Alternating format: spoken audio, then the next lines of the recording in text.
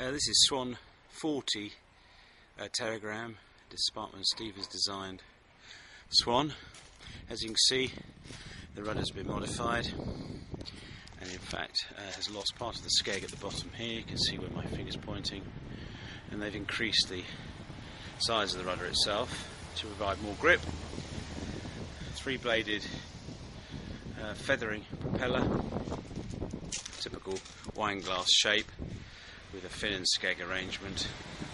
Uh, if you can see the pronounced tumble home on the sides there, the boat has been resprayed. You can see, hopefully from the photographs I've got here, that the hull is in extremely good condition.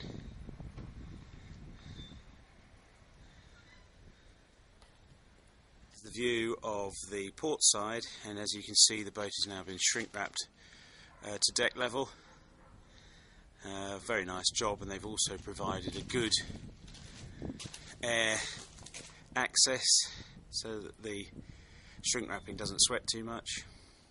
Again, a quick view of the keel and the underwater sections, which are in very nice order. We're now looking at the aft end of the boat, self steering gear, and the bimini arrangement.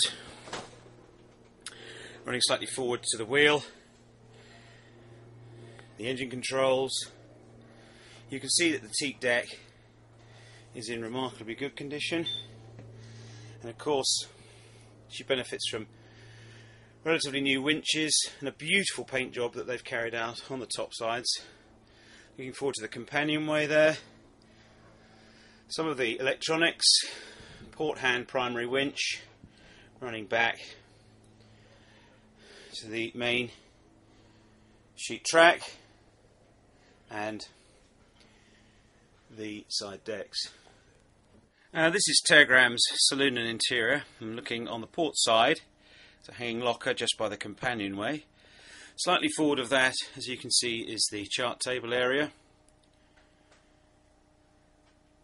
The batteries and ancillaries have been left on to make sure that everything is looked after properly.